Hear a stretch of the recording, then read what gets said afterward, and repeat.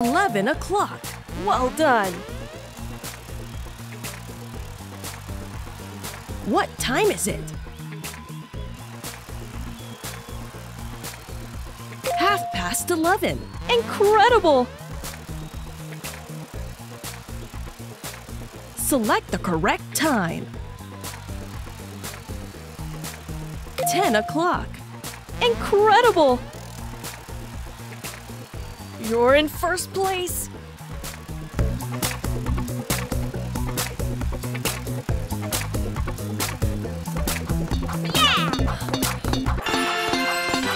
And the winner is Lisa!